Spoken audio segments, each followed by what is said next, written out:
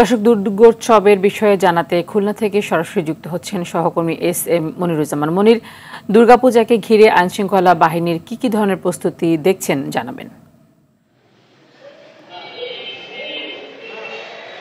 হ্যাঁ তানি যেমনটা বলছিলেন দুর্গা পূজা উপলক্ষে খুলনায় কিন্তু ব্যাপক নিরাপত্তার ব্যবস্থা গ্রহণ করা হয়েছে। ইতিমধ্যে খুলনা জেলা প্রশাসক মোহাম্মদ সাইফুল ইসলাম একটি বৈঠক করেছেন। সেই বৈঠকে কিন্তু এই পূজাকে কীভাবে শান্তিপূর্ণভাবে করা যায় সেই জন্য সকল প্রকার আইন শৃঙ্খলা বাহিনীর সঙ্গে কথা বলেছেন এবং আজ দুপুরেই কিন্তু খুলনা জেলা যে এসপি রয়েছে, তিনিও সাংবাদিকদের সাথে মত বিনিময় করেছেন। আহ, সব মিলে কিন্তু প্রশাসনের পক্ষ- থেকে ব্যাপক প্রস্তুতি গ্রহণ করা হয়েছে।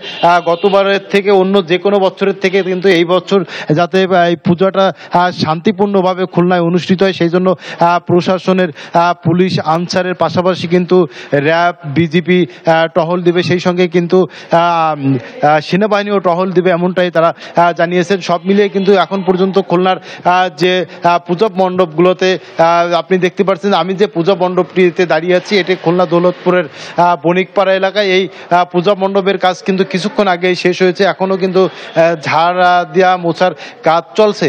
খুলনায় কিন্তু এই বছর মোট নয়শো একান্নটি পূজা মণ্ডপের পূজা অনুষ্ঠিত হবে। তার মধ্যে খুলনা মহানগরীতে রয়েছে একশো একটি এবং জেলায় রয়েছে নয়শো, আটশো নব্বইটি।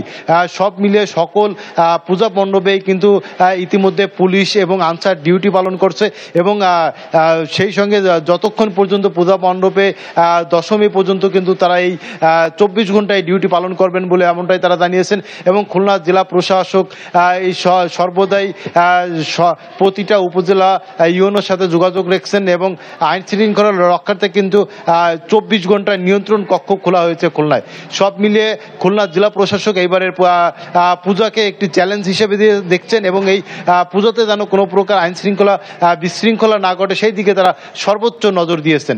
তানি এই ছিল খুলনা থেকে পূজার সর্বশেষ খবর তানি ধন্যবাদ আপনাকে।